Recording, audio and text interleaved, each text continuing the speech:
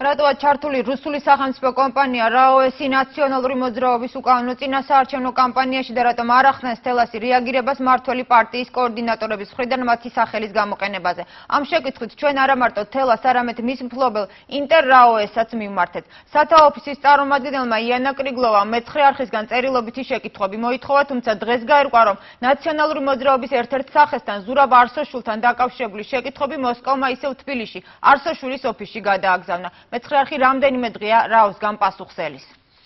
მე ვისაუბრე ჩემს უშუალო ხელმძღვანელს, რომელმაც მითხრა, რომ ასეთი საკითხები მხოლოდ თბილისში, თელასის დირექტორატთან უნდა გაირკვეს.